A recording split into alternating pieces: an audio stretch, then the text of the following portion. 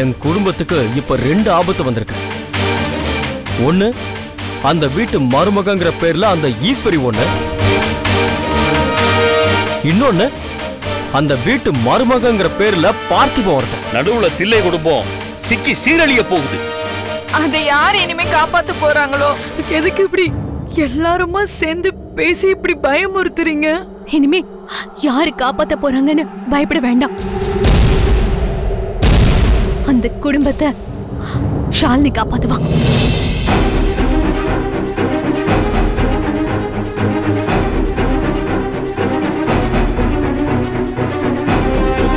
அ- அண்ணி நானா? வீட்ல அத்தனை சாம்பவான்கள் இருக்காங்க. பத்தாததுக்கு நீங்க எல்லாரும் இருக்கீங்க? உங்க எல்லாரையும் மீறி நான் எப்படி அண்ணி காப்பாத்த முடியும்? போராட்டம்னு வந்தா பண்ணிதான் ஆகணும் ஷாலினி. அண்ணா நான் என்னண்ணா பண்ண முடியும்? நீ பெருசாலாம் ஒன்றும் செய்ய வேண்டாம். இங்க நானும் அண்ணியும் இருக்கோம். எந்த ஆபத்து வந்தாலும் எதிர்த்து நிக்கலாம். எங்களை பத்தி நினைச்சு பாரு. நம்ம குடும்பத்துக்கிட்ட எவ்வளவு ஏச்சு பேச்சு வாங்கி நானும் மகாவும் எதுக்கு இந்த ஊர்ல இருக்கணும்? எங்களுக்கு என்ன படிப்பறிவு இல்லையா இல்ல பண வசதி இல்லையா? சென்னைக்கு போனா எங்களுக்கு என்ன பொழைக்க தெரியாதா?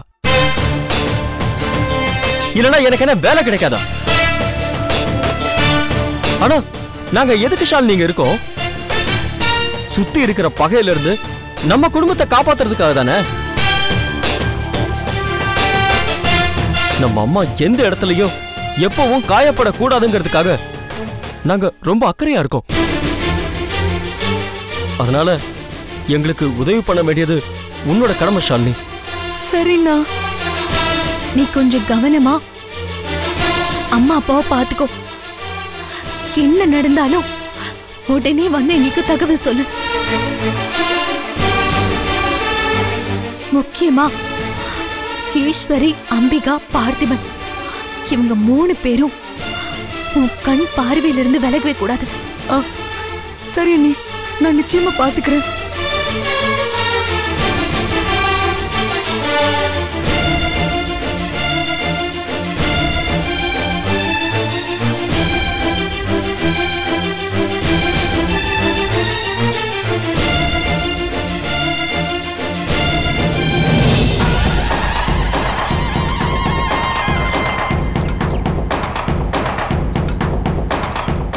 வச்சுட்டா என்ன பார்க்க வந்திருக்க?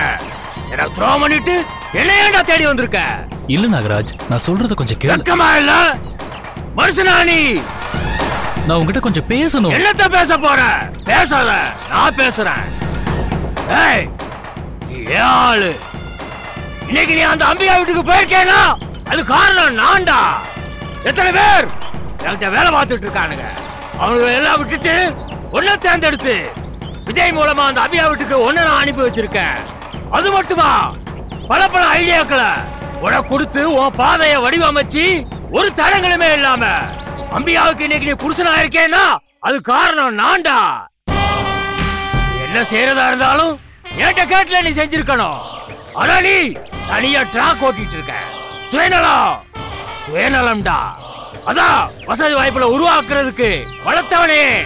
வளர்த்தவனுக்கே வேட்டு வைக்கலான்னு பாக்குற நீ? அப்படியெல்லாம் இல்ல நாகராஜ். நீங்க சொன்னதுதான் நான் செஞ்சேன். நான் உங்க பேச்சை என்னைக்குமே மீறினது கிடையாது. எனக்கு உங்களை ரொம்ப பிடிக்கும். வேணாப்பா.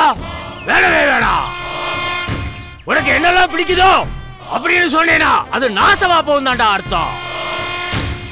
பூ பிடிக்கும்னு சொன்ன அத கசக்கி மோந்து பார்த்துட்டியே. அந்த அம்பிகா பிடிக்கும்னு சொன்ன அவளை நாசம் பண்ணி நாசம் பண்ணி தொலைஞ்சிட்டியே.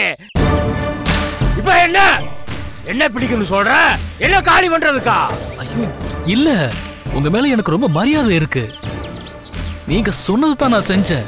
என்னத்த என்னத்த நான் செஞ்சு கிழிச்சேன் நான் சொன்னத? தில்லை குடும்பத்தை நாசம் பண்றதுக்கு அம்பியாவை கல்யாணம் பண்ணி நான் சொன்னேன் நானு. அவளை நாசம் பண்ண சொன்னா நானு? நாசம் பண்ணிட்டு வந்து நிக்கிய இது நம்ம பிளான்லயே இல்லையே. அது ஏதோ தப்பு நடந்து போச்சு நாகராஜ். நிதானமா நீ காயை நகர்த்திருக்கணும்டா அந்த அம்பிகா மேல கை வச்சதுக்கு அப்புறம் தாறுமாறா தறிவிட்டு அலைய ஆரம்பிச்சிட்ட போக ஆரம்பிச்சிட்டாடா. உன்னை யாரா அம்பியா சொத்த ஊர்ல போய் விலை பேச சொன்னது? அதோட விளைவு என்ன? நீ ஒரு அயோக்கிய பையன். காசுக்காகத்தான் நீ அம்பியா கருத்த தாலி கட்டிருக்கேன்னு எல்லாருமே நினைக்க ஆரம்பிச்சிட்டாங்கல்ல. யாரு அம்பியாட்ட இருந்து சொத்தை வாங்க சொன்னது விற்க சொன்னது. அது வந்து ஆமா கொஞ்சம் அவசரப்பட்டுட்டேன். ஏய் நீ அவசரப்படலடா.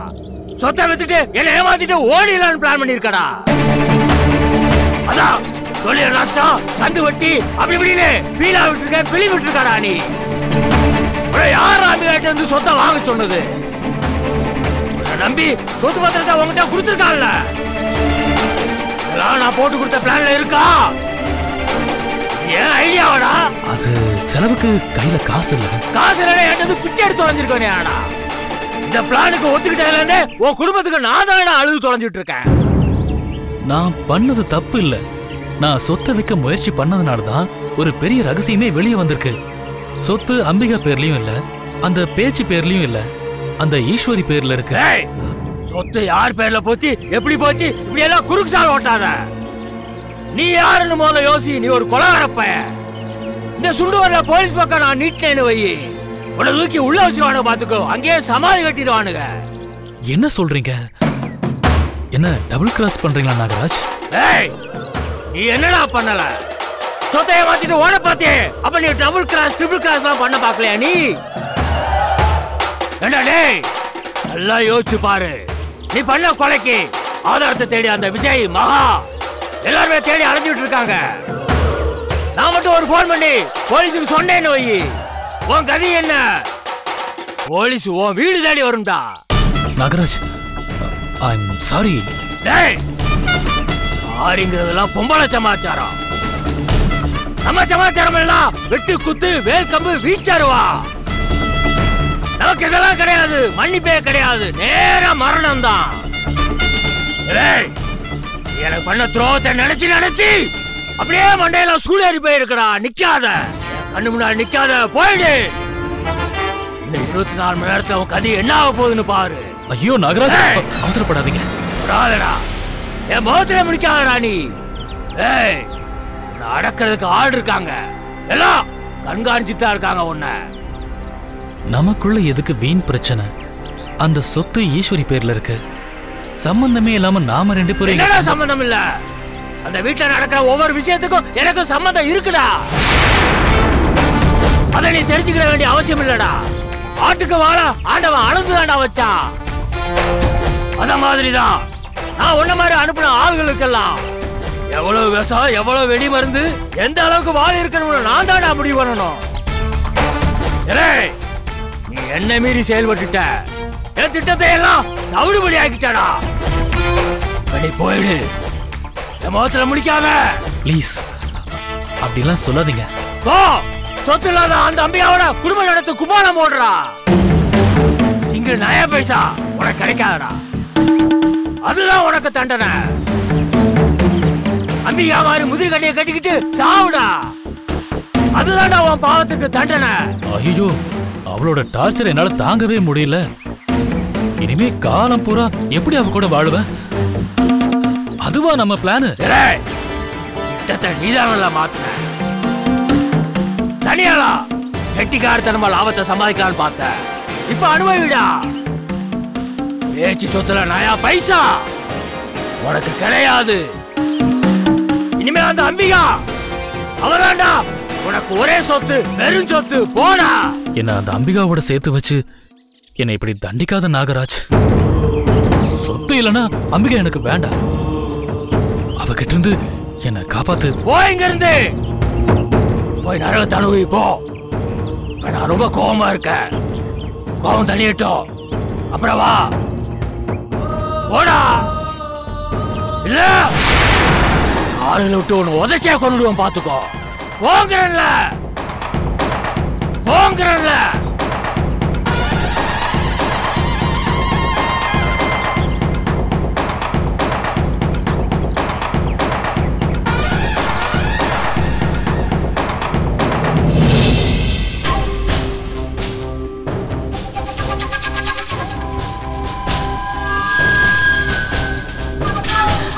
என்னங்க? இன்னும் இந்த அம்பிய காணோம். என்ன ஏதுன்னு கொஞ்சம் ஃபோன் பண்ணி விசாரிங்களா? ஏய் அறிவு கேட்டவள? போன் போக மாட்டேன்ல நானே அவனை தேடி சுத்தி இப்பதானே வந்தேன். எங்க இருக்கானே தெரியல.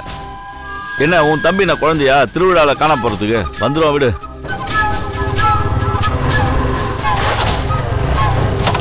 வந்துட்டான்.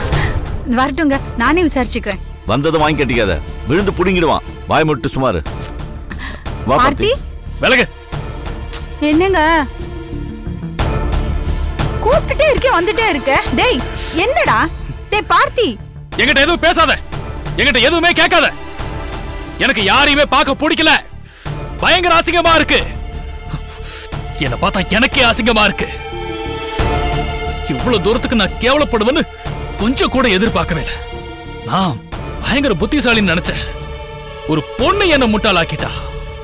சொந்த பொண்டாட்டியே கழுத்து அறுத்துட்டா. டேய் என்னடா திடீர்னு இப்படி ஆயிடுச்சு? எப்படி இது நடந்தது? என்ன கேட்டா? நாகராஜ் திட்டம் போட்டு என்ன அம்பிகா வீட்டுக்கு அனுப்புனா? அவனுக்கே தெரியாம நான் ஒரு திட்டம் போட்டேன். ச்சே, ஆனா இப்படி ஆகி போச்சு ஆமா எத்தனையோ பொய்களை சொல்லி உனக்கு பெரிய பெரிய இடத்தெல்லாம் வரன் வருதுன்னு சொல்லி அவங்க நம்ம வலைக்குள்ள கொண்டு வந்தோம். ஒரு வழியா நாம கேட்டதெல்லாம் எழுதி வைக்கிறோம்னு அவங்க சம்மதிச்சதுக்கு அப்புறம் தான் நீ அம்பிகா கழுத்துல தாலி கட்டுவேன்னு ஒத்துக்கிட்ட. பத்திரத்தை வாங்கிக்கிட்டு தான் தாலியும் கட்டினேன். எல்லாம் சரிதான்க்கா. கடைசியா நாம யாரும் எதிர்பார்க்காத விதமா அந்த ஈஸ்வரி நமக்கு பெரிய ஆப்பா வச்சுட்டா. அத்தனை சொத்துக்களும் கைவிட்டு போயிடுச்சு. இப்ப ஒண்ணுமே நம்ம கையில் இல்லையே.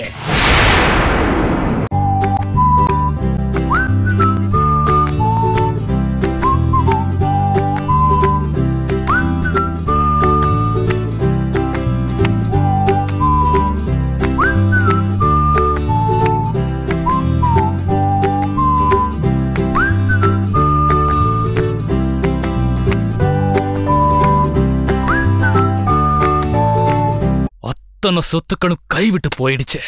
இப்போ ஒண்ணுமே நம்ம கையில் இல்லையே. நாம கேட்கவும் வழி இல்லையே. வசமா மாட்டிக்கிட்டோம். டே மாப்ள எதுக்கு நீ இன்னும் அரை மணி நேரத்துல உலகமே அழிஞ்சு போற மாதிரி துடிக்கிற? இங்க பார் ஒரு விஷயத்தை தெளிவா புரிஞ்சுக்கோ. நாம எல்லாரும் சேர்ந்துதான் திட்டம் போட்டோம். அதுபடி தான் நீயும் அம்பிகா கழுத்துல தலையை கட்டின. நீ வந்து கல்யாணம் பண்ணிக்கிட்டு வாழ்க்கையை தொடங்கல வாழ்க்கையை தொடங்கிட்டு தான் கல்யாணமே பண்ண. எல்லாமே முடிஞ்சதுக்கு அப்புறம் தான் அம்பிகா கழுத்த தாலியே கட்டின நாம இதையே காரணம் காட்டி தான் அந்த சொத்தை எழுதி வாங்கணும். கரெக்டா அப்போ ஈஸ்வரி தான் எல்லாத்துக்கும் சரி சரின்னா? இப்போ அவளே தான் நம்மளை ஏமாத்திருக்கா அப்போ அவ அதை தெரிஞ்சே செஞ்சிருக்கா? ம் மாமனாரையும் புருஷனையும் கேட்காம எல்லா சொத்தையும் தரேன்னு சொன்னவ எல்லா சொத்தையும் தாம் பேர்லயே வச்சுக்கிட்டு உன்னை மணமேடை ஏறி தாலி கட்ட வரைக்கும் கொண்டு போயிருக்கானா? மாப்ள நிச்சயமா அவ நம்மளை விட தில்லாலங்கடியா தான் இருக்கணும். சரி திரும்ப திரும்ப அதையே பேசிக்கிட்டு இருந்தா என்ன பண்ண முடியும்? என்ன பண்ண முடியும்னா? இனிமே தாண்டா எல்லாமே பண்ண முடியும். ஹம். எப்படியும் அம்பிகா இனிமே உன் கூட தானே வாழ்ந்தாகணும். அதான்டா அவ தான் உன்கிட்ட மயங்கி கிடக்குறாள்ல. அவ தாண்டா நம்மளோட துருப்புச்சீட்டு.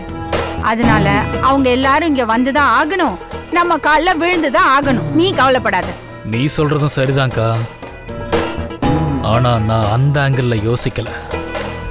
நான் யோசிக்கிறது என்னன்னா நாம ரொம்ப பணம் சொத்துன்னு கலாட்டா பண்ணா அதுக்காக தான் நம்ம அம்பிகாவை கல்யாணம் பண்ணுங்கிறது வெட்ட வெளிச்சமா தெரிஞ்சிடும். ரெண்டாவது ஊர் அறிய தாலி கட்டியாச்சு. அதனால அவ கூட வாழ முடியாதுன்னுலாம் இனிமே சொல்ல முடியாது. அதுக்கான வாய்ப்பும் கம்மி. நீ என்ன பண்ண போற?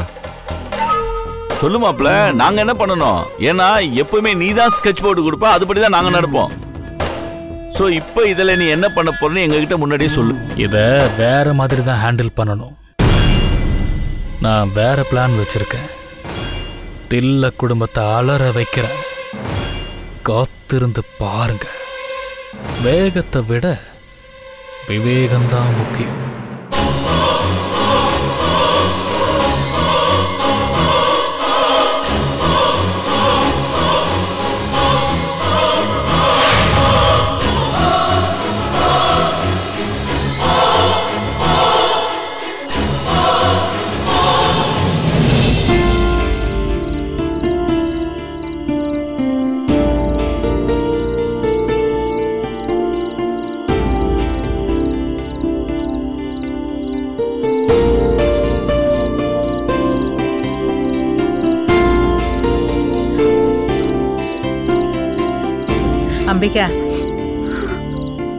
அம்பிகா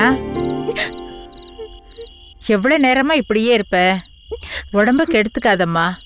வா முகத்தை கழுவிட்டு வா. வந்து ஏதாவது சாப்பிடு. ஆமா. இப்ப அது ஒண்ணுதான் குறைச்சலிங்க என் வாழ்க்கையை நாசமாய் கிடக்கீங்க.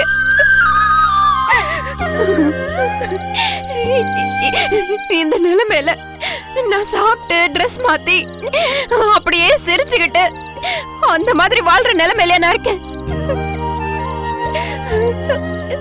எப்படிம்மா? எப்படி? குடும்பத்துக்கு வந்த மாப்பிளைய ஏமாத்திருக்கீங்க? என் புருஷன் என்னால அசிங்கப்பட்டு அவமானப்பட்டு நின்னுட்டு இருக்காரு என் மேல கோச்சிட்டு இருக்காரு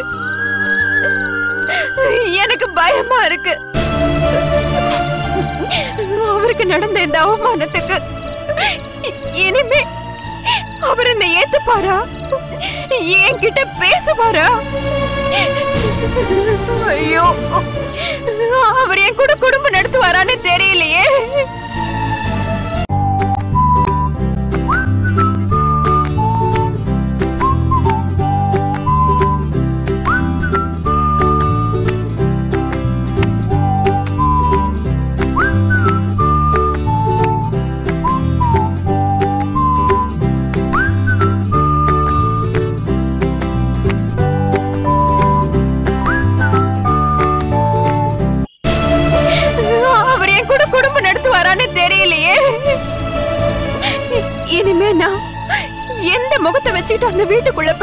முடியும். அவங்க எல்லார் முன்னாடியும் எனக்கு இப்படி மரியாதை இல்லாம பண்ணிட்டீங்களே. இத்தனை வருஷம் கழிச்சு எனக்கு இப்படி ஒரு நல்ல மாப்பிள்ளை கிடைச்சு எனக்கு ஒரு கல்யாணம்னு நடந்த உடனே நான் எவ்வளவு சந்தோஷப்பட்டேன் தெரியுமா? ஆனா இப்படி எல்லாம் நான் அசிங்கப்பட்டுட்டேனே. இப்படி இந்த வீட்டுக்குள்ள வந்து வாழா வெட்டியா இப்படி உட்கார்ந்துட்டு இருக்கேனே. ஐயோ. இ- எல்லாம் என் தலை எழுத்து இப்படி எல்லாம் நடக்கும்னு தெரிஞ்சிருந்தா நான் கல்யாணம் ஆகாம கண்ணியாவே காலத்தை கழிச்சிருப்பேன். கொஞ்சம் பொறுமையா இரு. உன்னை அப்படியே விட்டுடுவோமா? எதையாவது யோசிச்சு முடிவெடுக்க கொஞ்சம் அவகாசம் கொடு. இங்க பாரு. நீ ஓவரா பேசாத. ஒண்ணு தெளிவா தெரிஞ்சுக்கோ. அப்படியெல்லாம் பார்த்திபனால உன்னை கழிச்சு கட்ட முடியாது. அவன் இந்த ஊர் ஏறிய உனக்கு தாலி கட்டியிருக்கான். அதுக்கு இந்த ஊரே சாட்சி. அப்படியெல்லாம் அவன் உன்னை கைவிட்ட முடியாது. இத பாரு. அப்படி ஏதாவது அதை மீறி வாலாட்டினானா அவன் வண்டவாளம் மொத்தமும் வெளியில வரும். சொத்துக்காக தான் உன் கழுத்துல தாலி கட்டினான்னு நாங்க நிரூபிக்கிறோம். கல்யாணம் ஆன ரெண்டாவது நாள்லயே யாராவது பொண்டாட்டியோட சொத்தை விப்பானான்னு நாங்க கேட்போம். சொத்துக்காக உன்னை அடிச்சு துரத்திட்டான்னு நாங்க பஞ்சாயத்தை கூட்டுறோம். இந்த பாருமா கல்யாணத்துக்கு முன்னாடியே சொத்தை எழுதி கொடுத்தா தான் தாலி கட்டுவேன்னு சொன்னான். அவனை நம்பி சொத்தெல்லாம் உன் பேருக்கு எழுதி கொடுத்தோம். இப்ப ஈஸ்வரி பேர்ல சொத்தெல்லாம் இருக்குன்னு தெரிஞ்சு போச்சு. பார்த்திவன் பேரில் சந்தேகப்பட்டு தானே ஈஸ்வரி சொத்தெல்லாம் தான் பேர்ல எழுதிக்கிச்சு? அப்ப ஈஸ்வரி சொல்றதும் நியாயம் தானம்மா அதானே? தாலி கட்டின ரெண்டாவது நாள் ஏதோ தொழில் நஷ்டம் அது இதுன்னு சொத்தைய ஒரு காரணத்தை சொல்லி சொத்தை விற்க பார்க்கறான். நல்ல வேலை ஈஸ்வரியோட புத்திசாலித்தனத்தால அந்த சொத்தை இன்னும் நம்ம கையை விட்டு போகல. யோசிச்சு பாரு இன்னொரு சொத்து உன் பேர்ல இருந்திருந்தா அதை வித்து தின்றுப்பா அவன். இதுக்கு தான் உன்னை கல்யாணம் பண்ணிக்கிட்டானா? அண்ணா இங்க பாரு. நீ இந்த மாதிரி எல்லாம் பேசி பிரயோஜனமே இல்ல. இது என்னோட வாழ்க்கை. இப்ப அவரு உன்னோட வாழ எனக்கு விருப்பமே இல்லைன்னு என்ன ஒதுக்கி வச்சுட்டாருன்னு என்ன பண்ண முடியும்? இல்ல என்ன அந்த வீட்டு கூட்டிட்டு போய் வாழ வைக்காம ஒரு அடிமை மாதிரி டார்ச்சர் பண்ணா நீங்க எல்லாரும் என்ன பண்ணுவீங்க? இப்ப என்ன தாண்டி சொல்ல வர? இத பாரு என் புருஷன் நல்லவரோ கெட்டவரோ அத சொல்றதுக்கு உனக்கு எந்த தகுதியும் கிடையாது. நீ என்ன ரொம்ப யோகியனா? இவகிட்ட நீ தப்பா நடந்துகிட்டதுக்காக இவ உன்னை ஏத்துக்காம போயிட்டாளா? இல்ல உன்னை கல்யாணம் பண்ணி வாழாம இருந்துட்டு இருக்காளா இல்ல இல்ல இல்ல இந்த வீட்டுல உன்னை யாரும் ஏத்துக்காம இருக்காங்களா? எல்லாம் ஏத்துக்கிட்டு நீங்க எல்லாம் நல்லா தானே வாழ்ந்துட்டு இருக்கீங்க இவ நீ நல்ல மடம் கெட்ட கெட்டவனோ உன்னை சகிச்சுக்கிட்டு அட்ஜஸ்ட் பண்ணி வாழல? அதே மாதிரி நானும் என் புருஷனோட வாழணும். என்ன வாழ விடு. ஏய் இப்ப எதுக்கிட்டு என்ன அவன் கூட கம்பேர் பண்ற? நான் அவனும் ஒண்ணா அவர் ஒன்னும் உன்ன மாதிரி வீட்ல மூணு வேளைய உட்காந்து தண்டு சோறு தின்னல. நல்லா உழைச்சு பிசினஸ் பண்ணி சம்பாதிச்சு சாப்பிடுறாரு. கிழிச்சாரு. இருபது லட்சம் நஷ்டம் பண்ணி கட்டின பொண்டாட்டி சொத்தை ரெண்டு நாள்ல மானம் கெட்டு போய் விற்க பாக்குறான். அதுக்கு சொந்த வீட்டுல உட்காந்து சுடுசோறு சாப்பிடலாம் தப்பு இல்ல. சரி நான் அவர் பொண்டாட்டி. நான் அவர் கூட வாழ்ந்திருக்கேன். எனக்கு தெரியும் அவர் நல்லவரா கெட்டவரான்னு. ஏய் நீ ஓவரா பேசுற. அப்புறம் அவன் மேல வரதட்சணை கேஸ்னு கம்ப்ளைண்ட் கொடுத்துருவேன்.